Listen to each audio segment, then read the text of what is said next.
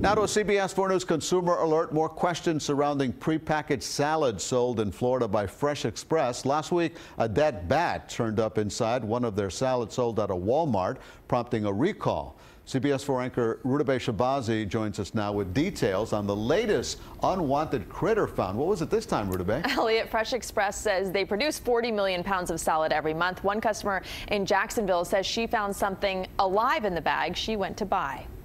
At first glance, this looks like a bag of any other spinach, but if you take a closer look, that's a live mosquito crawling around in the greens. A customer at a Jacksonville Target taking this video after she was disgusted by the insect inside her unopened prepackaged salad. Other shoppers reacted the same way. A live mosquito in a bag of salad. Oh my, gross. A live mosquito?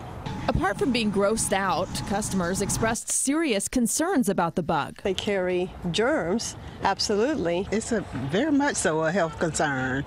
Earlier this week, the same company, Fresh Express, issued a product recall after a bat carcass was found in its salad. Why aren't there any more like safety measures or precautions taken. If you call the company to ask about these unsettling finds, you get this recording. Rigorous food safety practices in place to guard against any material from inadvertently entering the product supply. Customers say no matter how the bug or the bat got in, there's one thing they're sure about. I would not want any more salads from that company ever.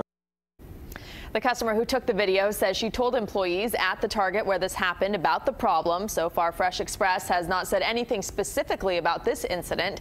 The salad the customer found the mosquito in is not one of the kind recalled last week. Elliott.